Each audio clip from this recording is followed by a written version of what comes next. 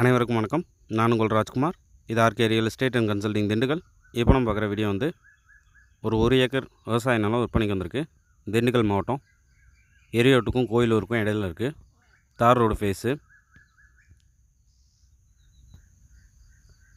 மேற்கு பார்த்த இடம். ஏக்கர் மொத்த விலை வந்து பதினேழு லட்ச ரூபா சொல்கிறாங்க